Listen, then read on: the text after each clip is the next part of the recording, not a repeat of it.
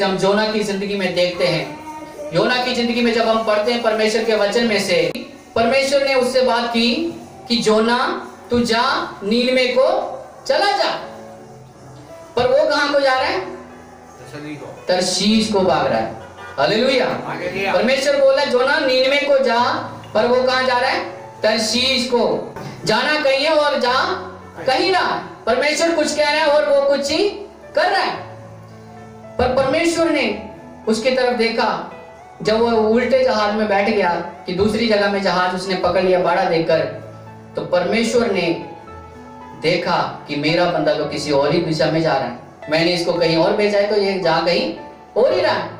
परमेश्वर ने प्रचंड आंधी को लाया और पूरे समुद्र में तूफ़ान आ गया। हालेलुया। बहुत बार हम परमेश्वर की योजना को पूरा होने से अपनी ज़िंदगी में रोकते हैं तो हम खुद ही खुद उस कष्ट में फंसते चले जाते हैं। हालेलुया। बहुत बार हम खुद परमेश्वर की योजना में रुकावटें पैदा करते हैं, परमेश्वर के दास ने रुकावट को पैदा किया तो उसकी ज़िंदगी में वो कष्ट आ गए।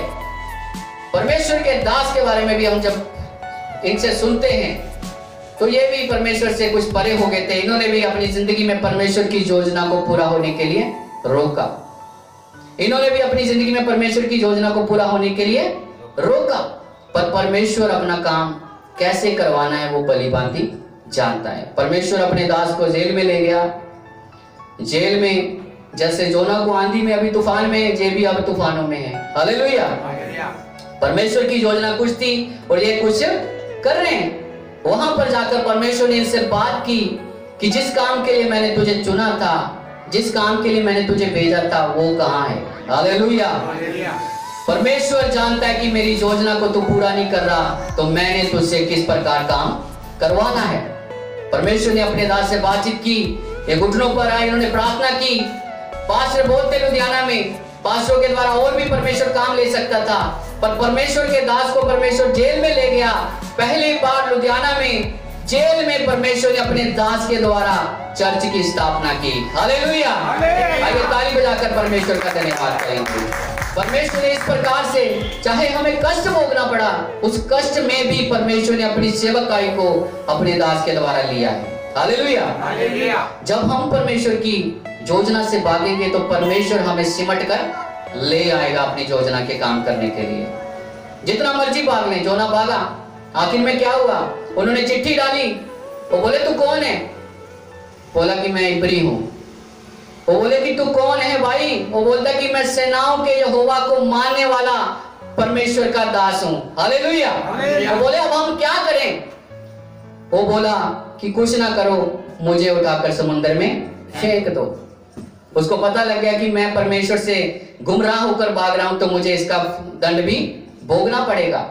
हम जितना परमेश्वर से मर्ज़ी भाग लें, उसका दंड एक दिन हमें भोगना पड़ेगा।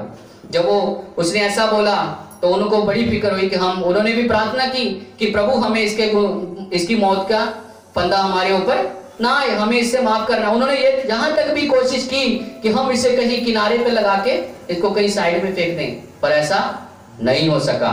जैसे ही उन्होंने उसे पानी में डाला, फेंका, तभी परमेश्वर ने वहाँ पर एक मच्छ को नियुक्त किया जो उसे पहले से लेने के लिए खड़ा था। हालेलुया। इसे कहते हैं परमेश्वर की योजना। हर एक काम परमेश्वर ने योजना पर नियुक्त किया हुआ था। योजना के अनुसार वो मच्छ वहाँ पर था। अभी परमेश्वर से भागा है। उसका दंड परमेश्वर ने उसको देना शुरू कर दिया। तीन दिन तीन रात उस मच्छ के पेट में रहा। मच्छ कोई ऐसे नहीं होगा कि एकदम से वैसे ही बैठा रहा होगा। हालेलुया। मच्छ जब आप देखते हैं एक बड़ा बड़ी मछली जब एक चलती है तो ऊपर को छलांग भी लगाती है इधर उधर भी टपुसियाँ मारती है इधर उधर उधर से पता नहीं किधर किधर को जाती होगी। तो जोना बेचारा एकदम सुन्न होकर बैठा होगा कि प्रभु किस तरीके से मुझे निकाल ले। हालेलुया। वो बोलता होगा मैं पहले ही चला जाता था इतने फंदे में ना फंसता।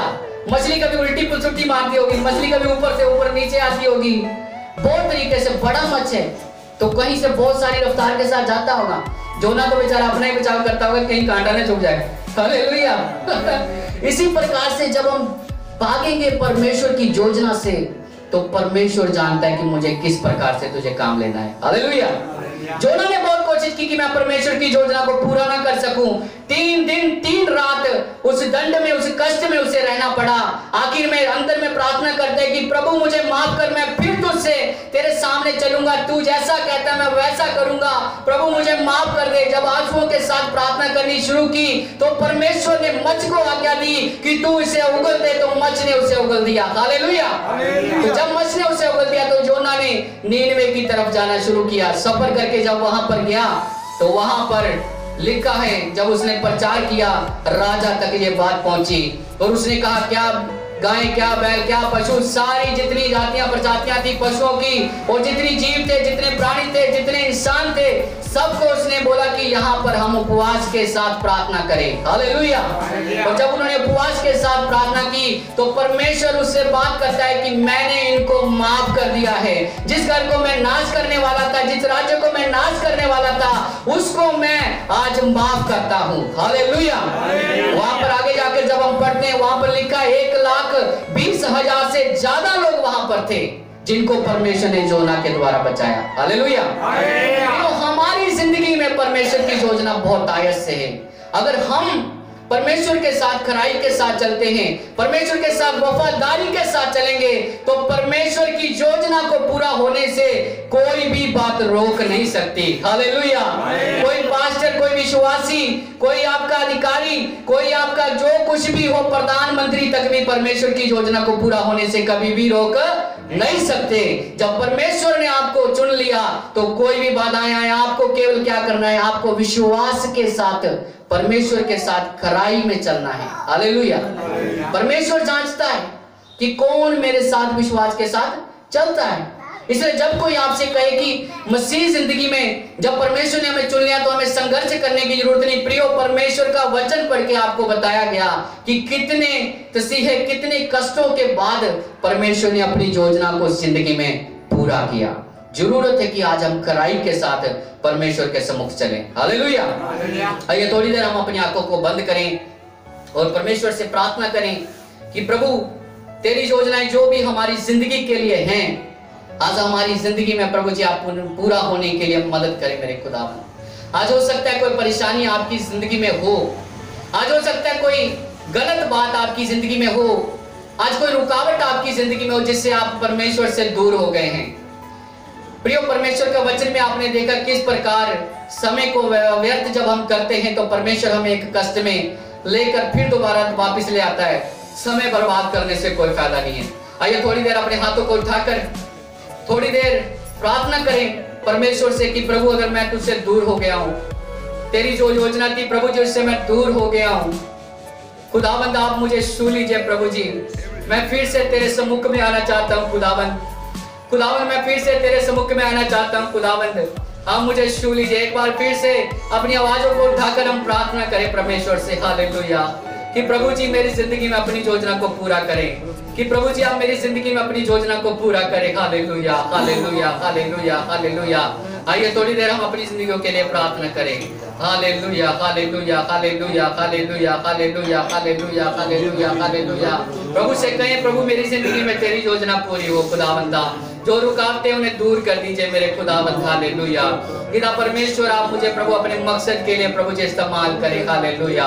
इना परमेश्वर, हमारे परिवारों में अपनी योजना को पूरा करें, हालेलुया। वो पवित्र परमेश्वर, हमारे ख्यालात को बदल दीजिए प्रभु जी। हम जोना के जैसे तुझसे दूर नहीं होना चाहते प्रभु। आप प्रभु, हमें अपने प्रभु वचन के साथ जैसे आपने सिखाया, वैसे चलने के लिए प्रभु जी आप सहायता करें। आइए हम प्रार्थना करते हैं। महान सर्वशक्तिमान पिता परमेश्वर, खुदावन तेरे दया के सिंहासन के सम्मुख में प्रभु जी, हम झुकते मेरे प्रभु जी, प्रार्थना करते हैं खुदावन तुझसे कि जितने लोग खुदावंद इस वचन को सुन रहे हैं खुदावंद जिन्होंने सुना है मेरे खुदावंदा आप पवित्र आत्मा के द्वारा प्रभु जी ने शो लीजिए मेरे खुदावंद और पिता परमेश्वर, सचमुच में खुदावंद जो योजना आपने उनकी ज़िंदगी के लिए रखी है मेरे खुदावंद। ओ प्रभु यीशु मसीह के नाम से उनकी ज़िंदगी में पूरी होने दे मेरे खुदावंद। और प्रभु विश्वास के साथ, एक खराई के साथ खुदावंद, हमें तेरे साथ चलने के लिए प्रभु जी, आप हमें इस्तेमाल करें मेरे प्रभु जी। सारी महिमा हमारी ज़िंदगी से प्रभु तेरे नाम को मिल जाए खुदावंद। हम किसी जो के लिए मेरे खुदावंद पर प्रभु, आप हैं जो हमें प्रभु इस्तेमाल करते हैं मेरे खुदावंद। आपकी योजनाएँ जो भी हैं खुदावंद, वो हमारी ज़िंदगी में पूरी हो जाएँ। और जो भी रुकावटें यीशु मसीह के नाम से, उन सारी रुकावटों को हम दूर करते हैं मेरे खुदावंद। इधर परमेश्वर हम सबको तेरे हाथों में सौंपते हुए, इस प्रार्थना को प्रभु यीशु मसीह के समर्थी नाम से मांगते हैं। आमीन।